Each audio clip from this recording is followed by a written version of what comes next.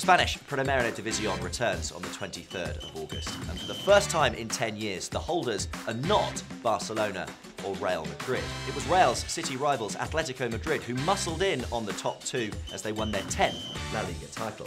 This season, we'll see some new faces. Colombia's James Rodriguez has become the fourth most expensive player in history and will link up with Cristiano Ronaldo and Gareth Bale in one of the world's best attacks at Real Madrid. World Cup winner Toni Kroos is leaving Bayern Munich to join Ronaldo and co at Real Madrid. The midfielder attracted the attention of Manchester United over the summer, but the chance of Champions League football has lured him to Madrid.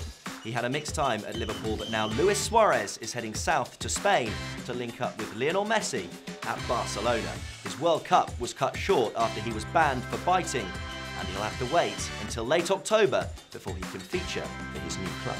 Mario Mandzukic left Bayern Munich to join last year's finalist Atletico Madrid. He was the top scorer in his last two seasons in Germany, and they'll need his firepower if Atletico are to retain their title. Will it be a three-way battle for the title in 2015?